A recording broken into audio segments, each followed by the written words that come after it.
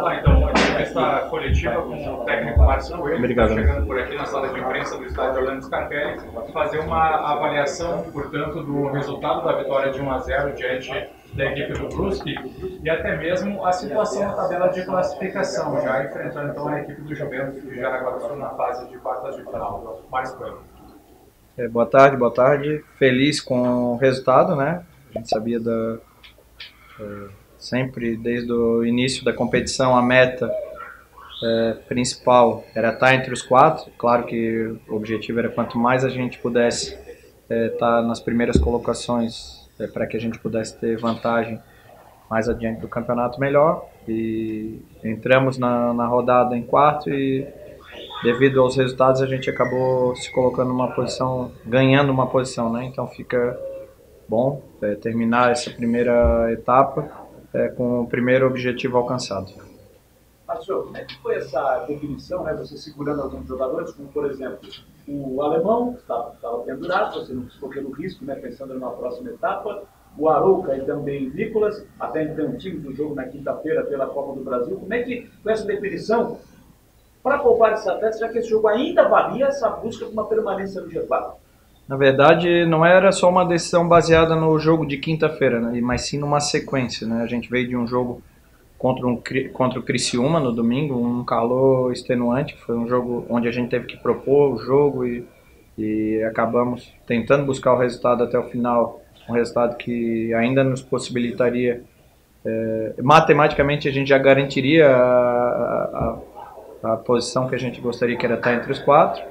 Fomos num jogo na, contra o Fluminense muito desgastante na quarta-feira, né? E, e, alguns atletas já acabaram sentindo. É, foi um dos, dos, jogos onde a gente é, teve o maior volume, tanto em sprints como em quilometragem, e foi um jogo onde a gente é, teve um desgaste bem grande, né?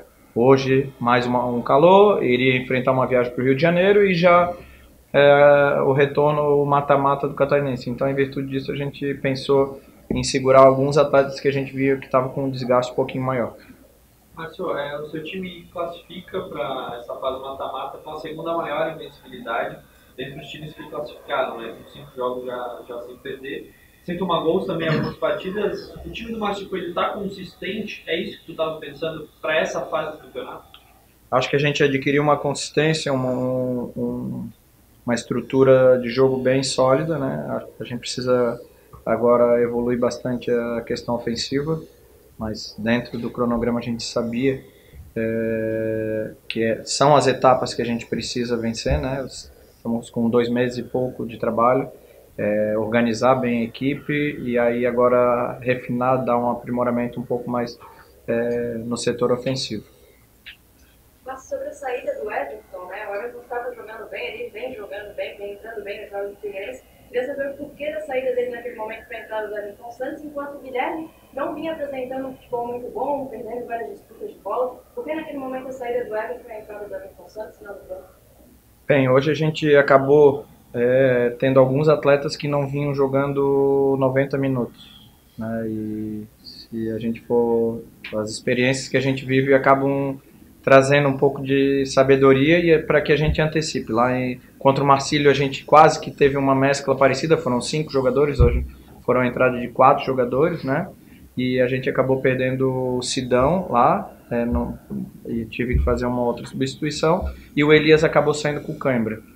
Né? Então, em virtude de o, de o Everton ter poucos, pouca minutagem durante o ano, e ser uma possível substituição mais adiante, eu, eu percebi que a equipe tinha perdido um pouquinho é, do ímpeto, a, a, gente acabou cedendo um pouquinho mais de espaços, e então eu concordo contigo que o Everton estava melhor que, é, no jogo, ele era um atleta que estava com é, ofensivamente com um volume muito bom, mas a gente acabou tendo muito espaço defensivo. E, como eu estava com o Guilherme, com o Marquinho e com muitos jogadores ofensivos, eu optei por um atleta que eu sabia, sabia que iria ser uma substituição mais adiante.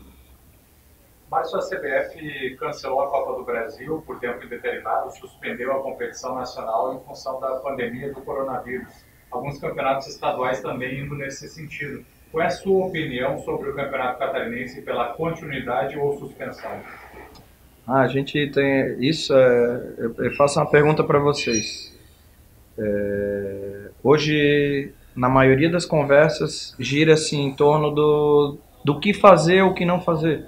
Né? O futebol tem ficado em segundo plano e, e eu acho que isso para o espetáculo por si só já é um prejuízo. Então isso já me faz refletir.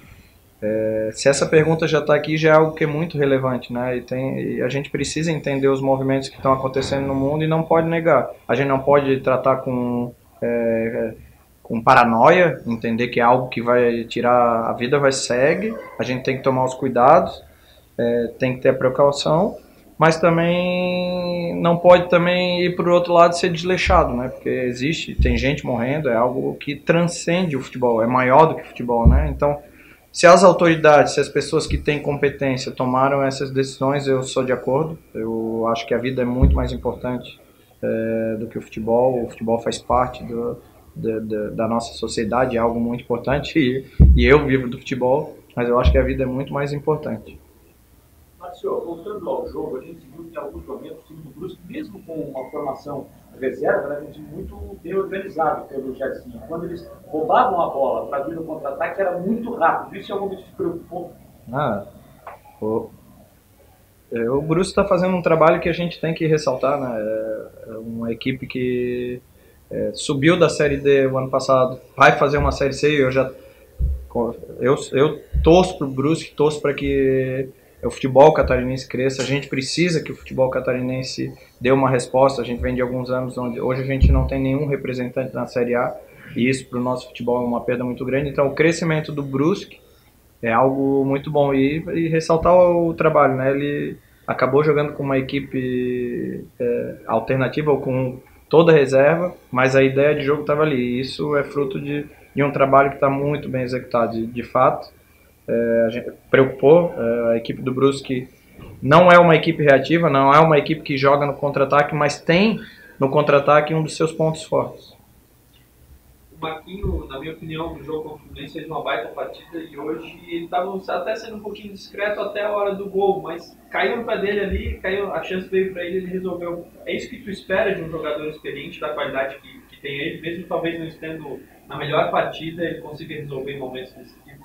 Eu acho que não só o Marquinhos, a gente, a gente não fez uma partida brilhante, a gente veio de uma partida muito boa é, é, contra o Fluminense e e eu sabia que era difícil a gente manter o nível de concentração, foco até em virtude de tudo isso. Vai ter jogo é, contra o Fluminense? Não vai ter jogo? Vai parar? Vai ser portão fechado? Está acontecendo isso? É, o nível de concentração e o foco acaba caindo. E quando tu tem que é, gastar muita energia é, para focar, tu acaba tendo que fazer uma força que acaba te faltando no, nos momentos. Então acho que a nossa equipe, é, ressaltar que mesmo com todas essas situações, mesmo com, é, com muitas trocas e tudo, a gente soube é, até o final manter a ideia de jogo e acreditar que a gente poderia fazer o gol para sair com a vitória e fomos premiados.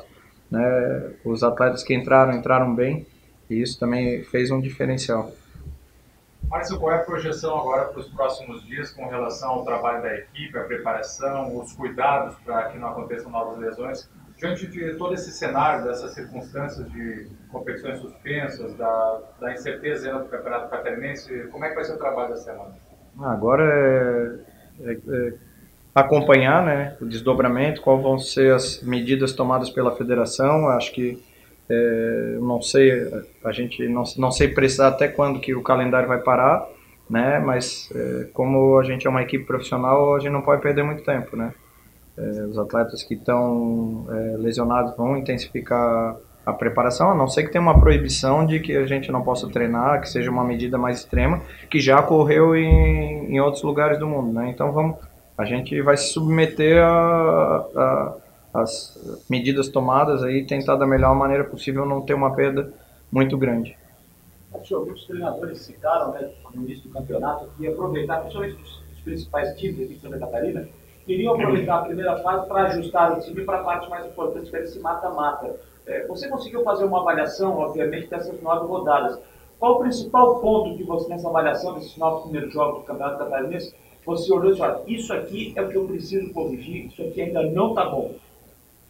Tem alguns pontos, mas uh, se, eu, se eu ficar entregando, as outras equipes já vão é, entender que a gente vai estar trabalhando. Eu, eu, falei um ponto que a gente precisa, né? Apesar de ser uma equipe que está com muito ajustada defensivamente, a gente tem feito poucos gols. Então isso é repetição, é trabalho, é, é refino, é ajuste pessoal também, né? Algumas situações a gente já viu e vamos tentar procurar ter esse equilíbrio entre o sistema defensivo e ofensivo.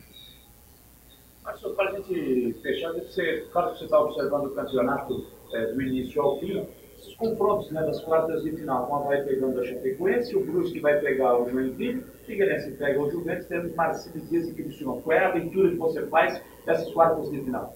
São jogos, o campeonato catarinense é muito equilibrado. Até a última rodada, hoje, é... a Chape, quem diria no começo da competição que a Chapecoense iria ficar em oitavo?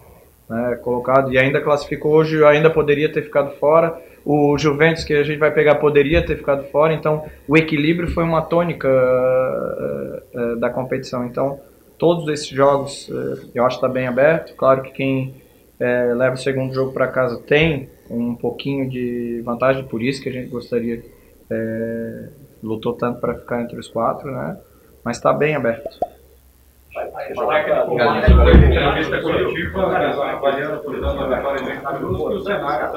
Obrigado, obrigado, obrigado, Obrigado, essas circunstâncias.